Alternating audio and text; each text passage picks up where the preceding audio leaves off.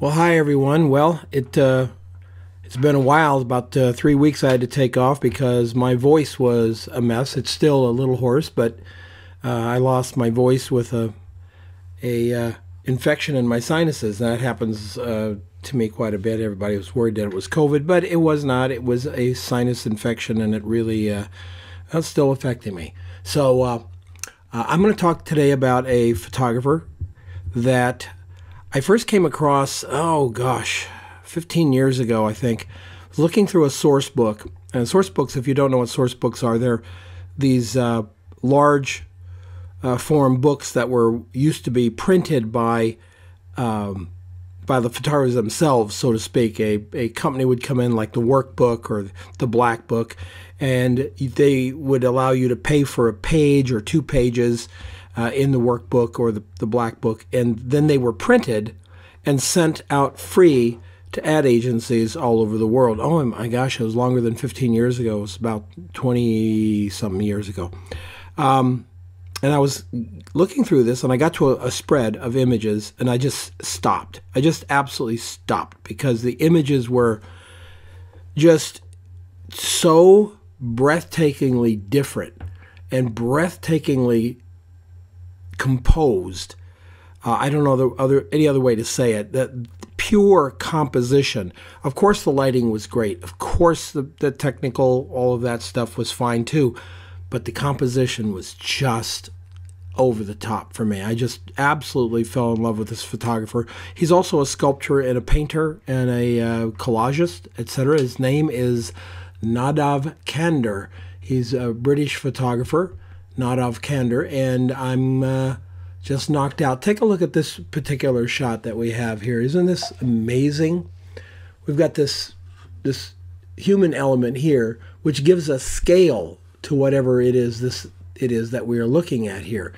Now, I honestly can't tell you if this is a real object or if this was composed. As far as I know, most of Nadav Kander's work is shot in camera it's his camera work that is so amazing. But um, nonetheless, this is a stunning shot. Notice where the person is.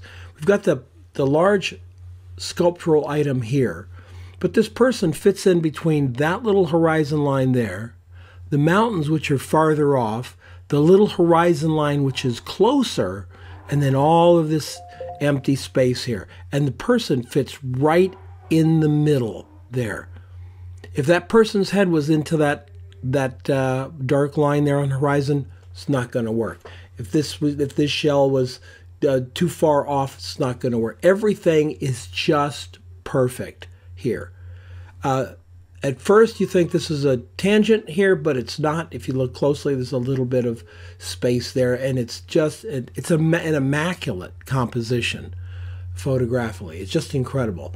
Now, Kander is a uh, um, I think a, a photographer who uses all kinds of cameras, large format, digital, medium format, doesn't really matter to him. He chooses the correct format for the job. Now, look at this portrait. Uh, and again, so many interesting things going on. Look at the boats in the background here. You see them? We've got boats on the horizon. From about the center of the image up, there's nothing there's this just giant foggy, smoggy, whatever it is, sky.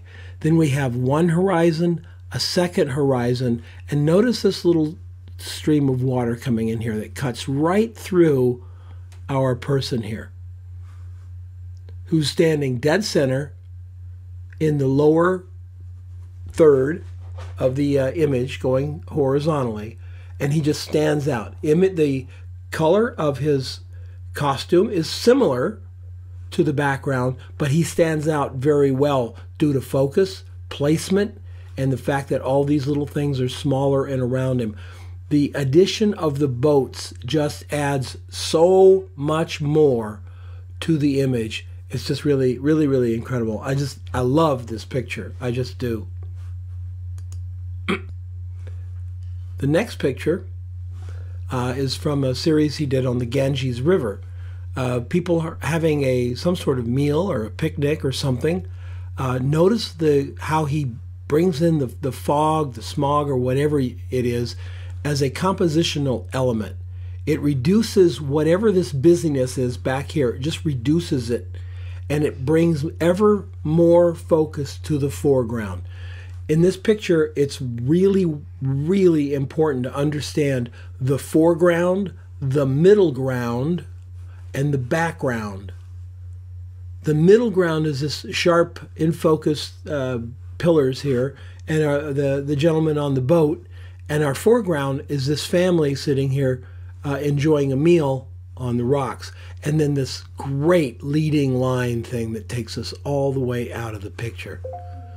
Fascinating, fascinating. Composition is absolutely everything when you're working in photography. I believe that composition, timing, color, uh, white space, it, it, these are the these are the tools of a photographer. Another really incredible portrait. Notice the single horizon with our human being um, kind of walking right here on the horizon, right at the horizon line. Really powerful. The horizon is not dead center, it's pretty close, but our guy is pretty much dead center. That's pretty much dead center of the image um, from a vertical standpoint, right in there. And what it is, I don't know. I uh, don't know. Uh, I uh, purposely sometimes do not um, investigate that stuff because I don't want to know. I just want to know the picture. I want to see the picture. I don't necessarily want to go and examine was this a tarmac or what it was. I just think it's absolutely fascinating. And look at the light coming right and catching him right there. Really fascinating shot. I love this. shadow of the tree, the guy standing in this little slot of light.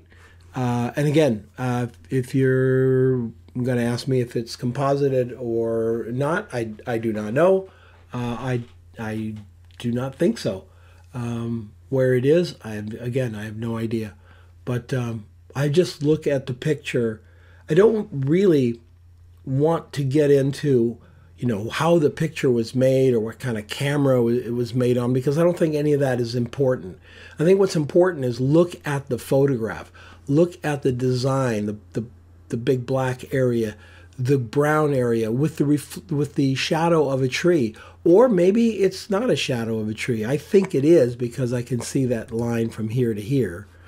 Uh, uh, some light being thrown there. We can see that the gentleman uh, there's lit, light from back here and there's light from there. So he's definitely looking into some light here, throwing a shadow back. It's all part of uh, Kander's really incredible way of handling uh, uh, light and composition. In a photograph like this, composition is everything. And it's so well thought out and it's so perfect. Really, really clean photographs by a master photographer. Look at the look at the empty space around. Look at the use of empty space. Let's look at the picture before. Look at the use of empty space. And again.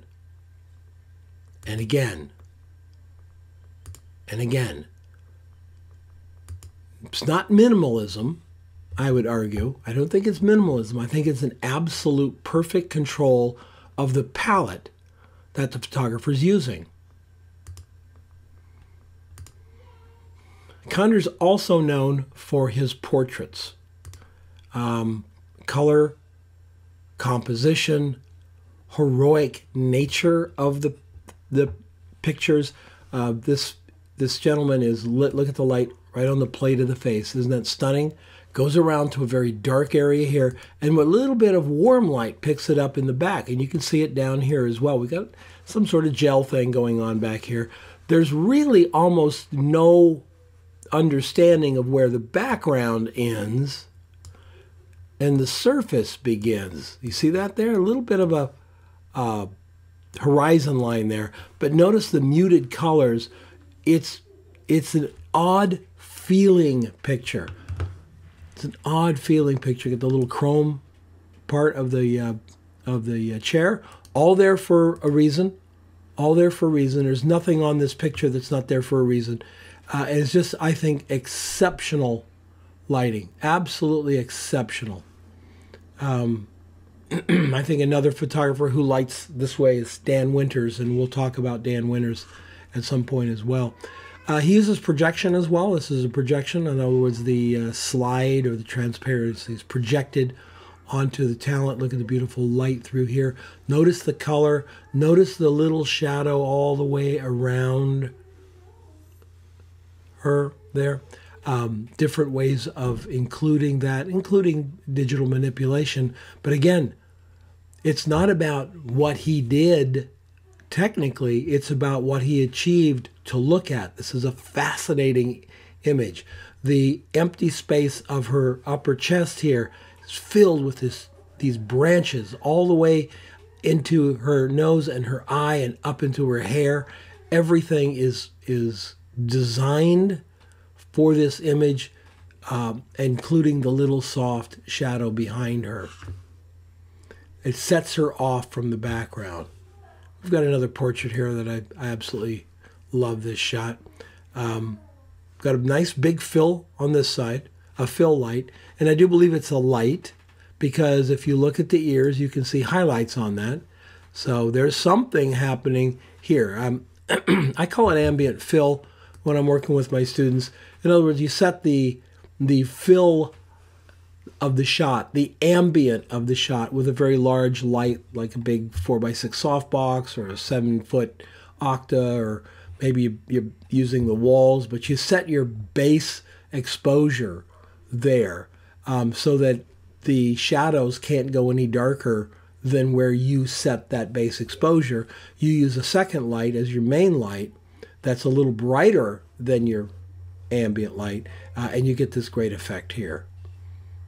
But again, what's important is look at the effect of the orange highlighting his face. And again, look at the background. Is it a background? Is it a surface? Is it a, we don't know. Working with this, this uh, warm tone color here and putting it all the blues, even the highlights in the hair here, you'll see are blue. The shadow tones are blue and these warm tones just pick it right up. And again, the the subject isn't looking at us. It's not a it's not a picture of somebody. It is a portrait. Uh, really a fascinating, fascinating way to work. Uh, but this is this is one of my favorite photographers. This is Nadav Kander. He's a, a, UK photographer, and I think he's one of the the best out there. There's there's um, some links in the description below. You can go and check out more of Nadav Kander's work. Thanks for coming along. Sorry it's been so long since I updated, but uh, as bad as my voice sounds now, it was much worse for the last three Mondays. So have a great one, and I'll see y'all next time.